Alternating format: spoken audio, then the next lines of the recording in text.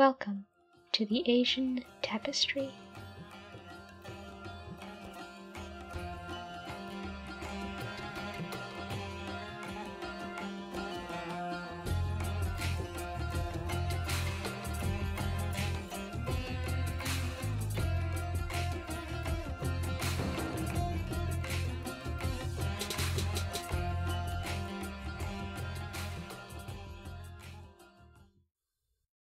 Chapter 4 Muhammad of the Bow slaying with his arrow two lions with one blow.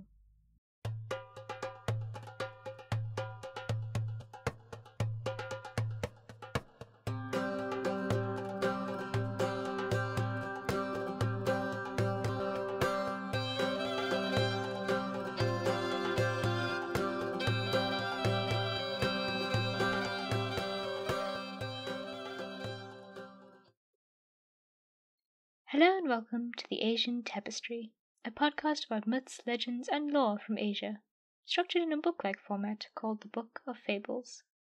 Before I continue, I just have an important announcement to make. The show will be going on hiatus from September to November while I move to Edinburgh for my PhD, deal with the logistics of settling in, and have my annual review. So I thought it was best that I take a small break while I'm doing all of that. But I'm sure that I will be back for December and perhaps have a few Christmas special episodes ready as well.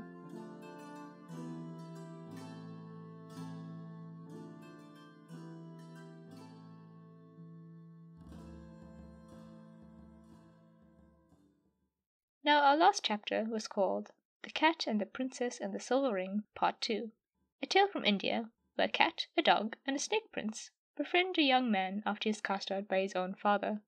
After many trials and tribulations, the man becomes a prince of the grand castle and lives happily with his beautiful wife and his two fur companions, cat and dog. Today's chapter is a rather lengthy title called Muhammad of the Bow slaying with his arrow two lions with one blow. This is a Persian tale.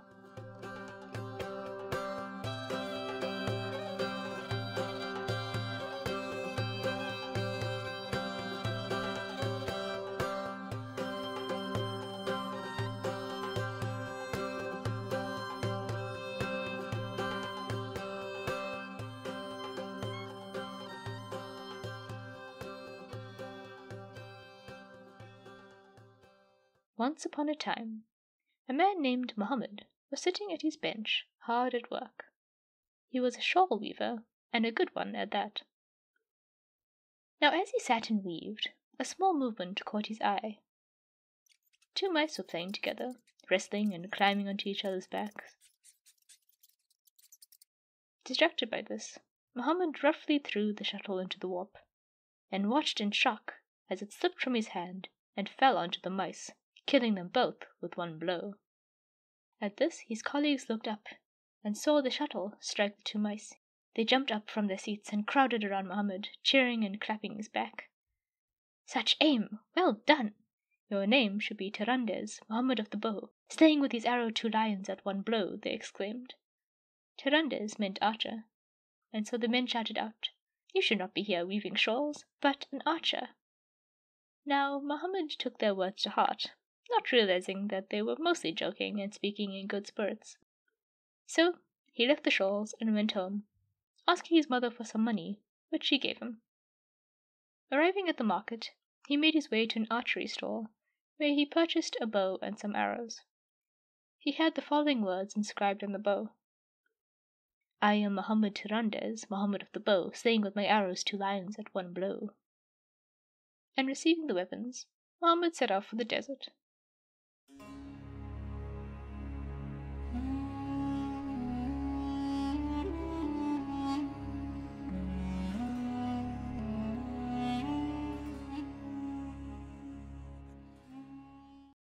Walking through the desert, Mohammed felt himself grow tired and thirsty. Luckily, he soon found a stream to drink from and a tree to rest under. Hanging his bow and pouch of arrows on a tree branch, Mohammed fell fast asleep.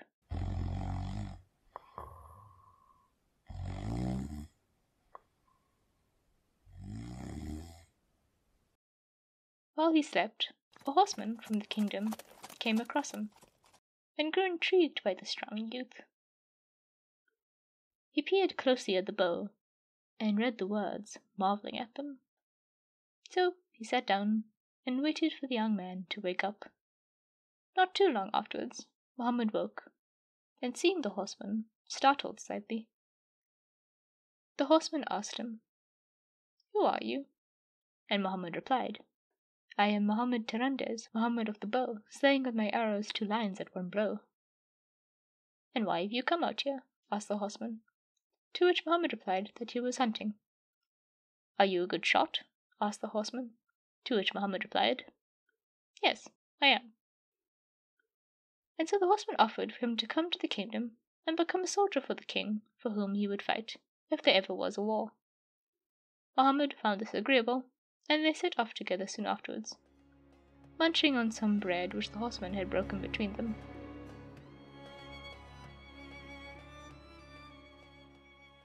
When he arrived and had an audience with the king, Mohammed explained who he was. I am Mohammed Tirandaz, Mohammed of the bow, slaying with my arrow two lions at one blow. The king, duly impressed, gave Mohammed a welcoming gift and an appointment in his house as a soldier, as well as a salary. This all pleased Mohammed greatly, who soon discovered that his duties were mainly eating and sleeping, as there were no wars immediately at hand. This suited Mohammed as he really did not know how to fight at all. Then, one day, an army arrived and besieged the castle.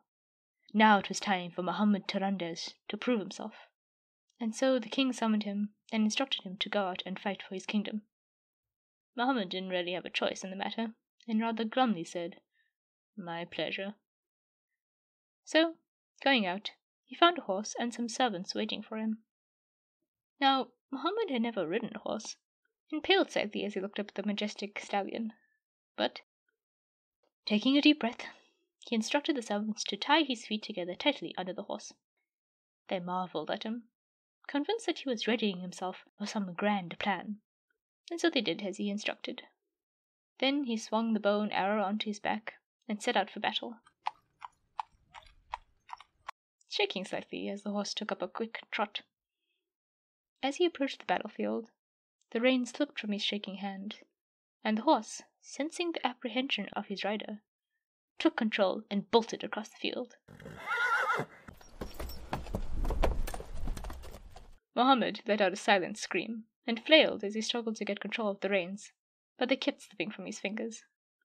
They rode past a tree, and in his fear, Mohammed grabbed hold of the tree, and the force of the horse's gallop tore the tree from its roots. Mohammed, the horse, and the tree in his hands, tore across the field. Catch the reins! Catch the reins! Mohammed shouted out. But his men simply cheered as they watched their champion storm ahead, majestically and heroically using a tree as a weapon. The enemy heard his words, and believed that he was telling his men to catch the enemy's reins and stop them from escaping.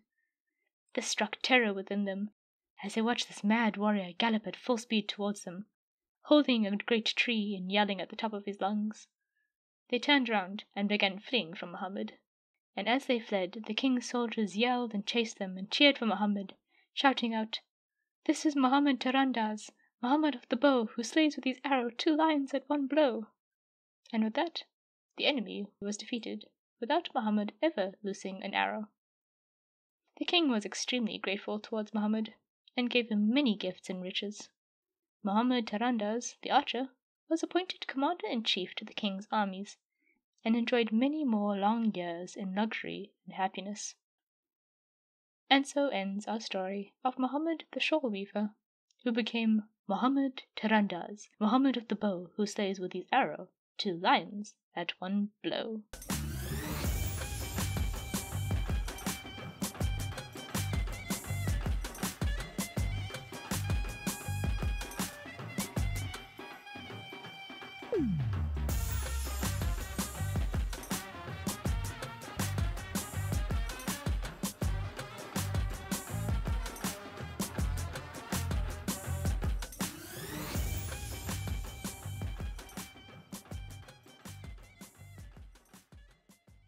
I really enjoyed that story. I adapted it from a retelling by D. L. R. Lorimer and E. O. Lorimer in their book Persian Tales. Uh, they translated the tale from the original Persian in 1919. The story reminded me of the tale of Kara Mustafa, the hero, a Turkish tale in which Mustafa claims that he kills 60 flies with one blow and 70 with the next. My good friend Dustin from Sandman Stories Presents tells this tale beautifully, and I highly recommend you check it out on his podcast. I'll pop the link to this in my show notes. It also reminds me of the German fairy tale, The Brave Little Tailor, who also achieves wealth and fame through trickery, although he is more devious in my opinion than Muhammad, who largely got his fame by accident. The Brave Little Tailor, a story attributed to the Brothers Grimm, kills seven flies with one blow, much like Kara Mustafa. I love finding similarities between folk tales, and it's always so remarkable to see how different cultures hold things in common while still possessing their own unique features. And that brings us to the end of chapter 4 of the Book of Fables Mohammed of the Bow, slaying with his arrow two lions with one blow. I sincerely hope that you have enjoyed this tale as much as I have, and that you join me once more for chapter 5 in December. Intro music was Jalandhar by Kevin MacLeod, and outro music is Raga Dance of Music by Aakash Gandhi. Further details, including license information, may be found in the show notes.